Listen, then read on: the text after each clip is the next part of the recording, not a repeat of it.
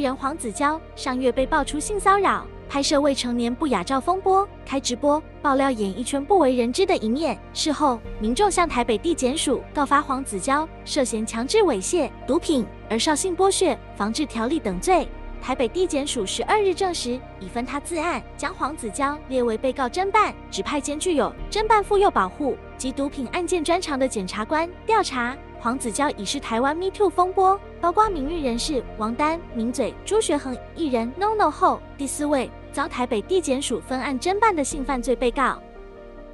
Me Too 风暴席卷政治界、学术界，最近更烧到演艺圈。资深男星许杰辉，甚至是爱家爱妻的形象又胜。黄子佼接连翻车，NONO 遭控性骚扰，而炎亚纶被指偷拍未成年性爱片。台湾 Me Too 风暴一发不可收拾。五十七岁已婚艺人许杰辉，先被男网友爆料，在表演课要求学生练习集体做爱配音惹意。接着，女星黄元欣指控，十年前上许杰辉的表演课，被要求衬衫不穿内衣。穿马甲丁字裤，还拿巧克力在他胸前问他能否夹住，是小贤察觉异样出手相救。我很好，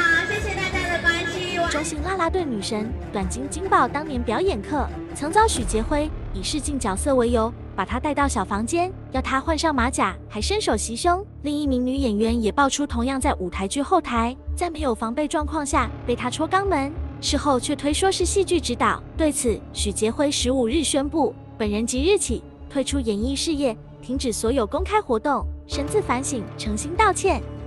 爱家好形象著称的艺人佑胜以人设翻车，两位曾与他共事过的女性工作人员指控他曾至少对三女伸出魔爪，抓揉胸部以及强吻舔耳、解内衣。佑胜在脸书发文道歉：“我为我曾经的行为所造成的伤害及阴影感到抱歉，非常非常的对不起。面对曾经犯过的错，我不会逃避，真的真的很对不起。”佑胜并传讯向受害者道歉，简讯内容还自曝：“其实我自己也被性侵过，曾是性侵受害者的他，竟也成了性骚加害者。”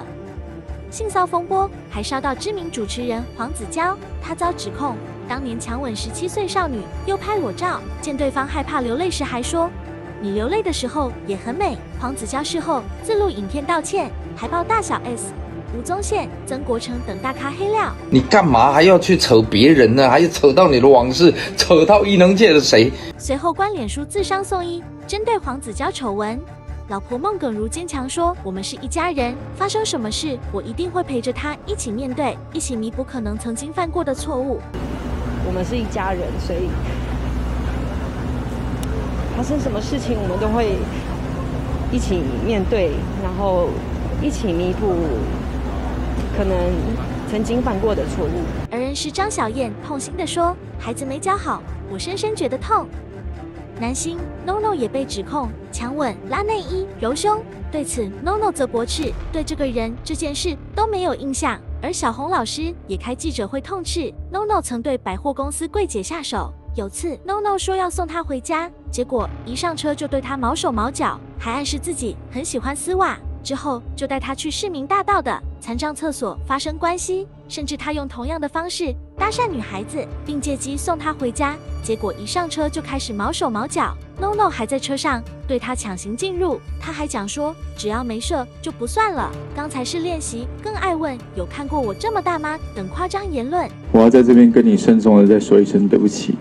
让你承受你这个人生不应该承受的事情，真的很抱歉，对不起。而炎亚纶遭抖音男神指控，被男友炎亚纶偷拍亲密影片还外流。炎亚纶以本名吴庚霖发千字文认爱过男网红，并招了私密片会外流，因修手机导致。对此，姚乐将在二十一日开记者会，悲痛透露自己是在十六岁时与炎亚纶认识，当时他在睡觉时就感觉到炎亚纶直接进入自己身体，即使他严肃地向对方拒绝，加上身形瘦小无力反抗。但对方仍没停止，事后他只能自我催眠，这是情侣间该有的行为。之后指出，首次拍摄性爱影片在炎亚纶的天母住处，当年他发现后就拒绝对方，而炎亚纶也给予承诺不会再犯。没想到二零一八年中秋节前夕，发现他与炎亚纶性爱影片外流，事件爆发后更传出找黑道恐吓，即使炎亚纶在社群解释及道歉，他认为是混淆视听，也将提告。